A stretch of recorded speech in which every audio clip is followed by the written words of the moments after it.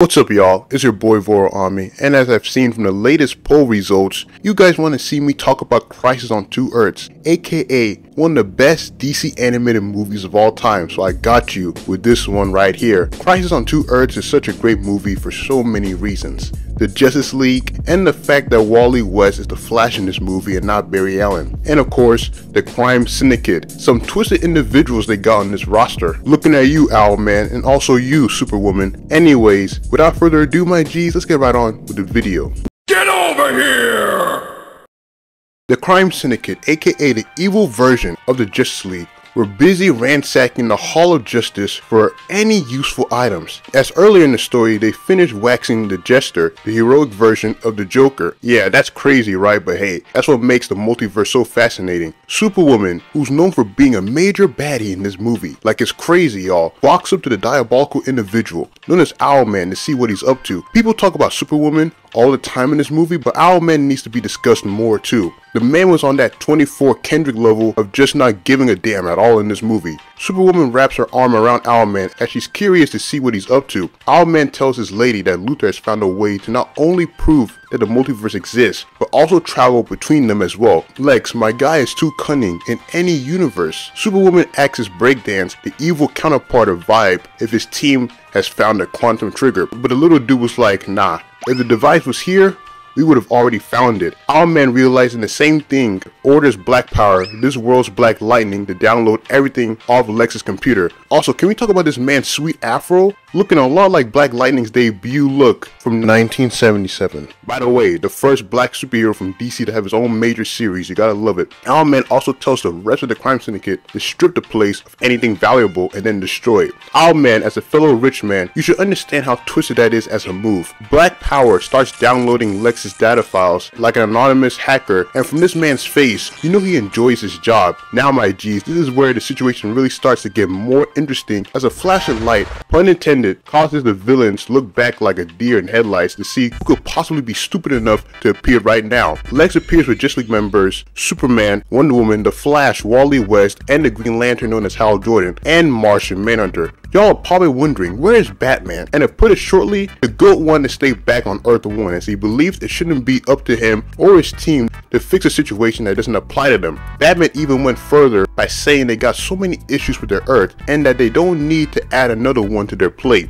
I understand Batman in a way. Superman on the other hand was like, nah, Bruce, there's millions of lives at stake. We gotta do what we gotta do as the Justice League. And so from there, we got to this amazing moment here. Lex and the League realized they might have come at the wrong time. Meanwhile, Superwoman was shocked out of her mind. Superwoman was so shocked, she had to pull out the signature what the hell catchphrase. Like that was so funny, man. Lex tells the League their plane was compromised and Owlman, the evil genius, straight up told this girl, Superwoman, he doesn't have time to deal with these shenanigans and ordered her to take down the heroes. Superwoman activated her inner Jada Parker and flew up to the heroes. Lex seeing this tried blasting her with his signature beams, but this proved to not work well for Lex as Superwoman dodged the beams like an elite gymnast and hits Lex with a Frieza torpedo move. Lex crashes into the wall of his old headquarters and this lady just wants to end his life. Do you see how she's balling her fist? Superwoman punches Luthor's armor in her face. Oh my god. When I tell y'all this lady is sick, I mean it. I already did a video on her and Batman months ago, but that might be the first video I redo on this channel because there's so much stuff I left out in that video. Superwoman tries to punch Lex again, but is stopped by the GOAT superhero Superman. You just gotta love it when Superman pulls off a successful save. Superman tells Superwoman that'll be enough of her deranged actions and Superwoman like a Gen Alpha kid, now wanting to stop her bad actions, proceeds to mink Superman in the face, making the GOAT fly away into the pavement. Yeah, she's gonna regret that.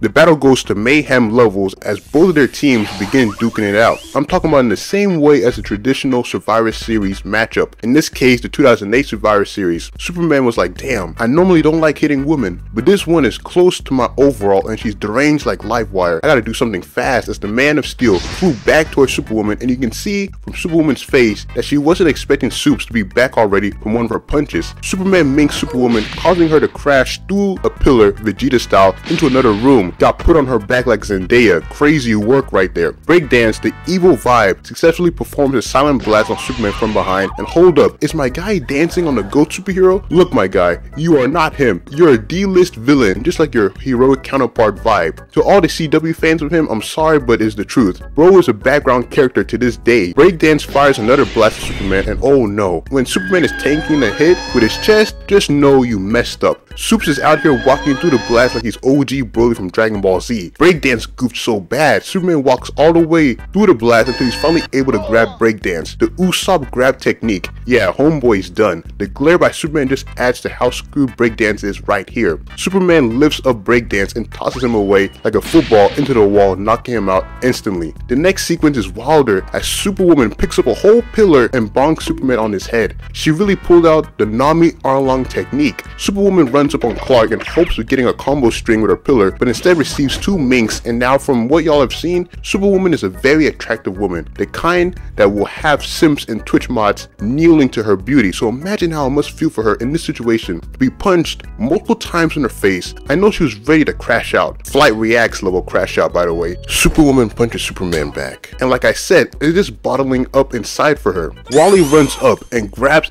Extruder Man, aka the evil elongated man, to take him for a ride, Dispo style. Nearby, Diana battles Sai, the evil version of Katana. She looks a lot more like Cheshire. And one thing about Diana, y'all, is the fact that she's always going to show off in a 1v1. Like Diana blocks Sai's first attack, then gives her an Android 18 knee to the gut before backhanding her in the neck. Got cooked in three moves. Diana is the queen for a reason. Diana looks around and sees Vamp, this world's Vixen charging at her in a lion form that looks a lot like Scar. I've said it a couple times that Diana is the queen, but Vixen is too. She needs to be put in more adaptations. Vamp pounces on Diana like a true lioness, and this man Wally. He's just having a blast, expanding Extruder Man's body. Not like that, y'all, by the way. Black Power Umar Johnson shoots multiple lightning beams at the Chad Martian Manhunter, who evades them one by one like the 97 talent that he is. John evades all of Black Power's attacks, and Power realizing this, decides to channel his energy into two devices so he can pull out the crush technique on John.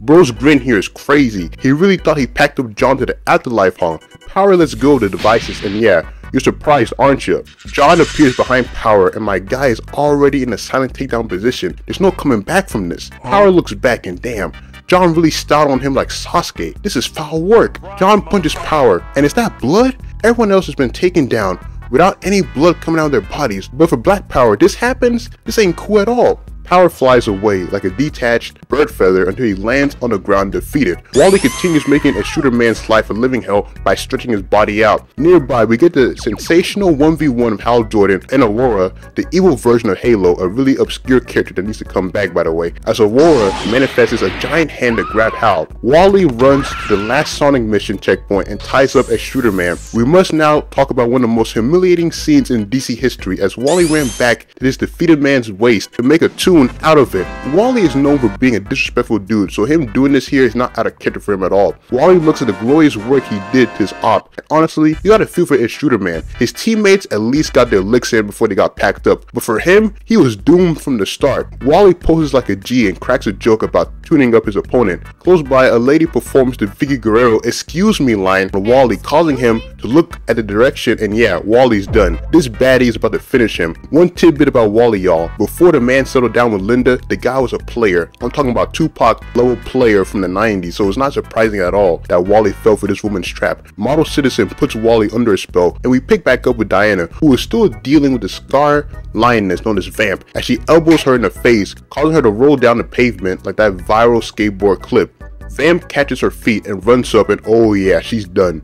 Diana is finally using her lasso. Diana throws her lasso, leading Vamp to transform into a snake, those cold individuals, and launches an attack on Diana's bracelet. That attack didn't do anything for Vamp, so this lunatic lady decides to morph into a bear. This shocked Diana so much that she pulled out her signature Hera catchphrase. I don't blame her either. Diana picks up Vamp like a signature bodybuilder, and my goodness, yeah, say goodbye, Vamp. Diana knees Vamp in the stomach, and Diana's been rootless with these Dragon Ball Z knee strikes so far. Diana drops Vamp to the floor as she once again performs those barrel rolls before transitioning back into her original form. Elsewhere, Aurora was getting ready to have Hal meet the Spectre again as she manifested scissors to cut this man up like a homework assignment. Hal was like, hold up, I've played this game before and generated a rock just before he was chopped up breaking the construct instantly. Aurora was flabbergasted, but it was too late for her as she received a ming to the face from Hal's construct, causing her to crash into a wall, got dropped like Roxanne Perez. Crazy work. We pick back up to the humiliation ritual of Wally West as model citizen told the S-tier yapper that he doesn't want to fight her, he wants to help her, and Wally programmed like an OG Fortnite bot reiterates what a chick in front of him just said until he finally snapped out of the trance as Wally realized he may have been put under a Jedi mind trick. I know the Star Wars fans love this reference so much. Model citizen tells Wally he's not like the Jedi mind trick at all, and look at where her hand is. My guy folded again as soon as she did that.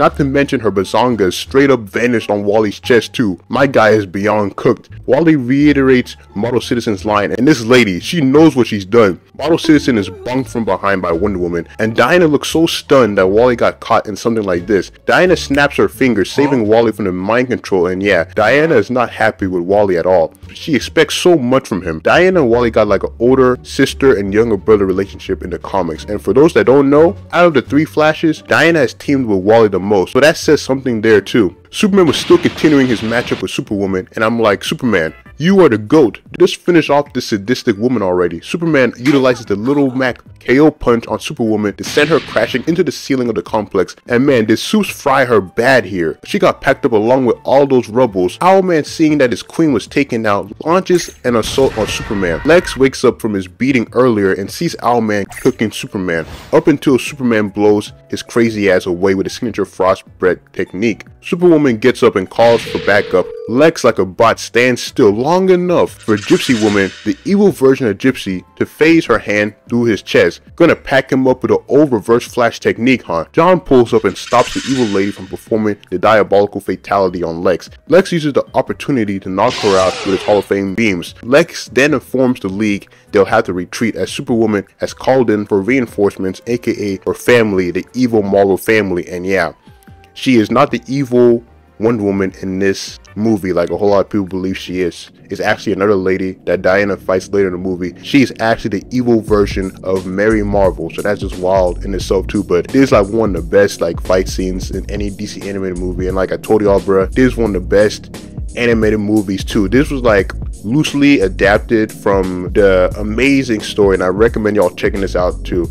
I think it's called JLA Earth 2 by Grant Morrison and Frank Quitely, and basically is kind of like the same premise as this movie. Lex Luthor, he needs help because, you know, the crime syndicate were like crazy in this movie, but in the, in the comic series too, they were like crazy, dude. Like Superwoman is a straight up evil baddie in the comic, bro. Like the stuff that she does to Jimmy Olsen, and it's justified too because Jimmy Olsen in that comic, he is he is a creep, bro and he looks like one too, bro. It's crazy. But anyways, man, this is also the comic book where that famous um, scene of Kyle Rayner, Green Lantern, Superman, I think Wonder Woman 2 and Martian Manhunter are all pulling up outside of Lex Luthor's complex and they're like, yo, we just want to chat. That's it's such a good comic. But this animated movie was originally supposed to be in the DC animated universe, so the same universe that brought us Static Shock, Justice League, Justice League Unlimited, Batman the animated series. You know all the good stuff back then. It was originally supposed to be a part of that universe, but things changed. You can see with the characters that they have in this movie, like we still have Wally West as the Flash, but John Stewart he got replaced by Hal Jordan because this was around the time where Hal Jordan made his triumphant return to the comic books. But it was still great, man. But you guys let me know your thoughts on this movie, man. What do you what do y'all think about it, man? Like this is one of my favorite movies, man, because the fact that the Justice League roster was so sick. You had Superman, Batman, Wonder Woman, Wally West, Flash.